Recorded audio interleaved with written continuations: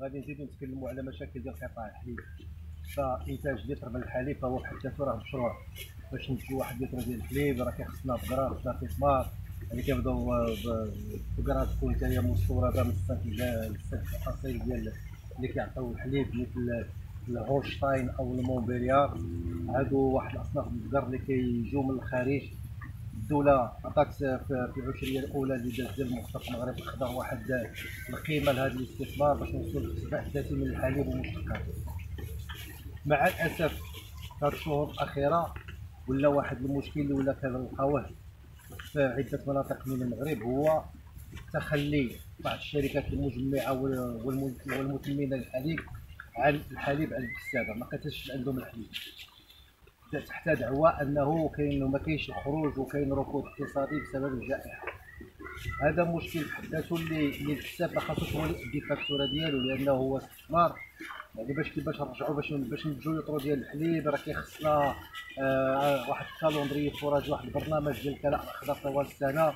كيخصنا l'ensilage كيخصنا التبن كيخصنا كيخصنا العلف كيخصنا آه علف مركبه كيخصنا فيتامينات كيخصنا أملاح معدنية. كيخصنا طبيب بيطري كيخصنا تقني كيخصنا مهندس كيخصنا ماء صالح للشرب كيخصنا يعني تنقيط آه، وسائل ديال التنقيط غوتا غوت كيخصنا بزاف هو ديال الأمور بالاضافه إلى الكهرباء هذه كاع كلها أمور كيستثمرها اللي راغب باش ينتج ليطرو ديال الحليب ولا ينتج الحليب. مع الأسف مع الأسف وما يؤسف له هو عندما كنلقاو بأن هاد الناس هادو اللي كينتجوا الحليب يتكتلوا في تعاونيات أو جمعيات باش يجمعوا الحليب ديالهم كتخلى عليهم هاد الشركات المجمعة. والطامه الكبرى هو اننا ملي كنلقاو بأن في هاد الست شهور الأولى هاد الشركات هادو استوردوا ما مجموعه مليار و700 مليون ديال الدرهم. فهاد الشيء راه خرج العقل راه ما يمكنش. الحليب نخليوه للفلاح وما نهزوش. ونستوردوا الحليب. راه هذا هو التناقض. إلا ما كان الركود وما كانش علاش كنستوردوا الحليب. كاين شي واحد غيقول لك حقا راه كنستوردوا الاجبان ذات جودة عالية. حنا شنو كينقصنا في المغرب؟ باش حنا ما ننتجوش باش ما نتمنوش هذا الحليب هذا ونتجو حتى حنا هاد الاجبان ذات الجودة عالية. علاش شنو خاصنا؟ خاصنا الأطر الحمد لله موجودين في المغرب. خاصنا التكوين. التكوين موجود. المادة الخام والمادة الأولية هي موجودة. يعني هاد الشركات الله يهديهم خصهم يكونوا مواطنين. راه كاين هذه سنتين ديال الجفاف. الفلاح دابا كيخلص ب 35 درهم الباله ديال التبن اللي فيها واحد 10 كيلو. وكل كل مصاريف باش ينتج لك لتر ديال الحليب اللي كيعيش به الأسرة ديالو الفلاح ما توصل لا بدعم لا بوالو في الجائحه ديال كورونا وفي الأخر نزيدو نكملوا عليه وما نهزوش من عنده. الحليب فاللهم إن هذا منكر. المنتج خاصو يفكر وتكون هذه الشركات ولا هذه المقاولات اللي كتكمل الحليب وكتنتج الحليب. وكتجمع الحليب تكون حتى هي مقاولات مواطنة. راه هذا الوقت هذا خاصنا نضمن نضامنوا مع بعضياتنا نضامنوا مع الكتاب نضامنوا خوتنا المغاربة مع بعضياتنا باش ما واحد الفئة ما تاكلش العصا.